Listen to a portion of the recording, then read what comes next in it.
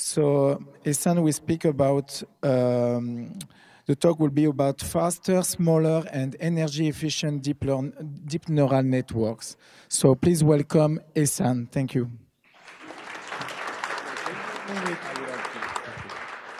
Hello, my name is Ehsan. I'm uh, from Deeplite, and I'm so excited to introduce our startup and share our vision with you guys today. So, as the name implies, Deeplite is related to deep learning, and light means make them smaller, lighter, and more efficient. So, uh, why deep learning? Mm, yeah, uh, because deep learning dri drives AI these days, and with the big data, automatic uh, feature extraction, um, it unlocks so many new opportunities that were essentially difficult challenges before with the traditional AI or neural networks.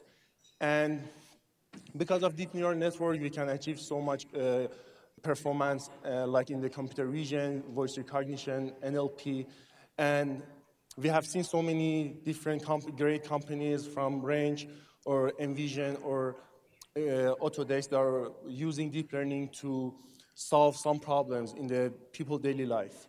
But the problem with the deep learning is they are super expensive in terms of the computation. So for, the, for running deep learning uh, um, at the inference phase, I'm running deep learning.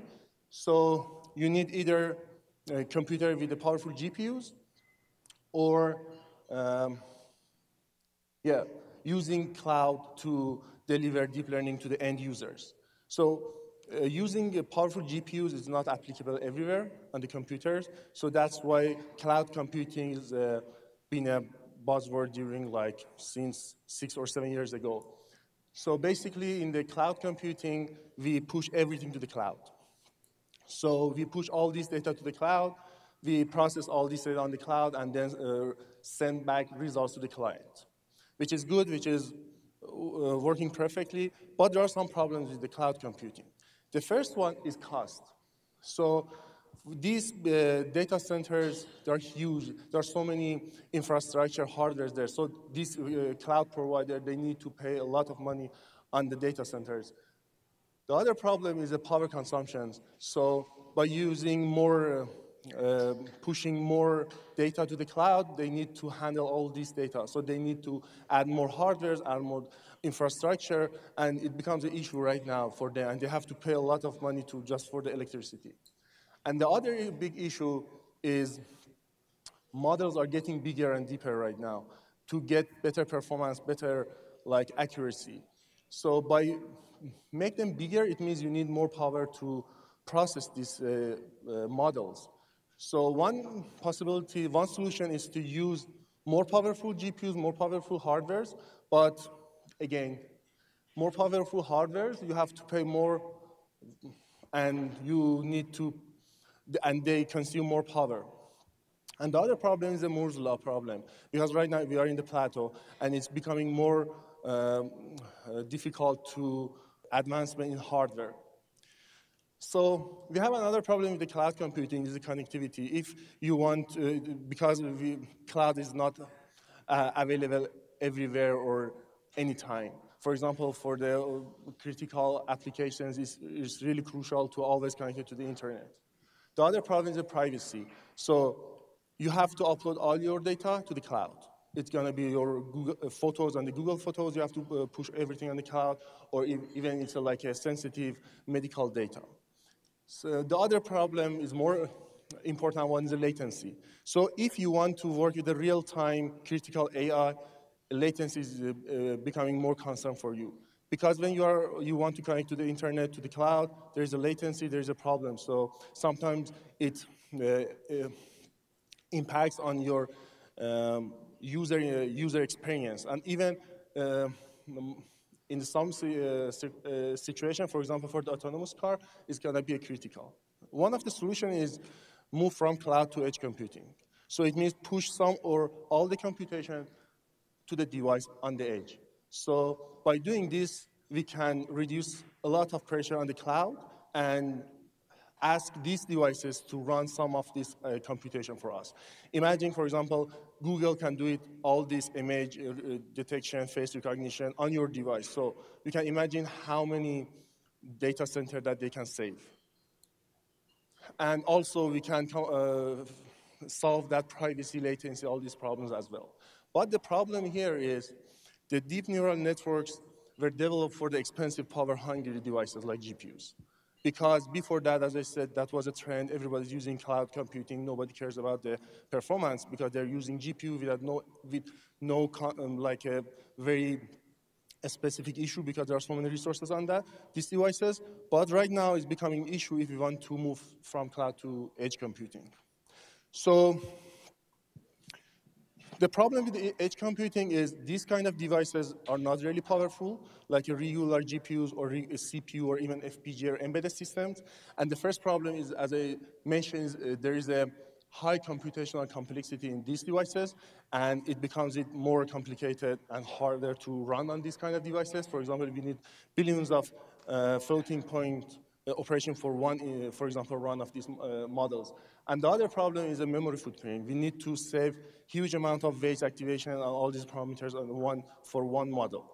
So on this kind of embedded system or uh, low-end devices, we, are, we have a limitation for the on-chip memory and the memory bandwidths. So that's, uh, that's a need for the optimization. We need a, that, uh, we need a optimization mechanism to make these kind of uh, models applicable for low-end devices. And where is the light makes to play? So light provides an AI-driven uh, optimizer to make a deep neural network faster, smaller, and more power efficient on, uh, from cloud to edge computing. As you can see here is a high-level description of light. So basically, you can feed your model to the engine, and you can uh, uh, define your computational constraints. That's the important part. I'm going to get back to it uh, in the next uh, slide. So deep light is going to optimize your model while satisfying these computational constraints. So these computational constraints uh, dictate Deeplite how to optimize the model. And finally, it optimizes the model that is applicable for the target hardware. So the, the important part is you know, the, in the first presentation, we have uh, seen the design space exploration, all this stuff, and we have the same issue here. If you have a different constraints, when I'm talking about the constraints, it can be accuracy, power, memory that you have on the hardware, because each hardware, you can define hardware based on some kind of constraints. So if you have all these constraints, you have so many different alternative solutions for your uh, network. For example, these are the desirable solutions if this one is a computational cost like a speed and this one is energy. These networks consume less uh, energy and they're fast, but these are not good because these, these are like take so long and consume so much energy. But maybe they are better in the other metrics. These are only two-dimensional uh, constraints here. As long as you, uh, you are moving from cloud to these kind of uh, devices, you have to satisfy strict computation requirements. For example, memory or bandwidth, as I said, on these kind of devices. As long as you increase these dimensions, like multiple uh, dimension in the matrix, it becomes more harder to find this uh, optimal solution. That's why we need an automatic hmm, uh, tool to do that for us because it's kind of infeasible or impossible to do it manually for these hundreds and hundreds uh, solutions. So um, that's the uh, AI-driven optimizer. It's a holistic approach to combine optimization approaches plus the design uh, exploration in a one intelligent engine. To uh, it means if we have a bunch of uh, optimization techniques like a content aware or platform aware. So how we can apply these techniques to satisfy these, these constraints. That's the beauty of Deeplite that it can find the near optimal solution. I'm not talking about the best solution because it's going to be hard to find that, but you can find it and you can run that one on your device. It can be GPU or it can be FPGA or it can be CPU. Deeplite aims to be a, a architecture agnostic and hardware agnostic. It means we will, this is our vision to support different architecture in deep learning and also for the different hardwares. So as I uh, mentioned for the hardware, if you want to add a new hardware, we have to define what's the metrics, what's the specification or, uh, or uh, constraints of that hardware. By describing these constraints, we can add more hardware to the system. So finally, we want to uh, uh, provide the end-to-end AI-driven optimizer to bridge the gap, between these uh, frame, AI frameworks and the different or multiple hardwares. Um, so by using Deeplite, we can, first of all, lower the cost on the data centers. So as I uh, mentioned earlier, we can use GPU, GPUs as a hardware, so we can make a, faster and uh, a smaller model on the GPUs. And also we can unlock new opportunities by making this kind of network applicable for the, the edge devices. And finally, reduce time to market and engineering effort drastically by using that automatic uh, design space exploration tool. So this is a quick uh, demo. As you can see here, this is a uh, original YOLO uh, object detection, and this one is optimized one on the GPU, and this one is uh, running two times faster than this one on the GPU, which is a quite good uh, improvement on GPUs because they are super optimized. As you can see, we have a 25, for example, frame per second by the original one, and we got around 50 or more than 50 frame per second on the other one. So it's, it's gonna, it's uh, gonna be good if you want to reduce your um, computation uh, power or cost on your data centers. But it's just only on the GPUs, it means you cannot run it on the devices. So it's just like a prototype proof of concept. So our mission at Deeplite is to make artificial intelligence more accessible and affordable for anybody in the day life. And actually right now we are expanding our team we are hiring.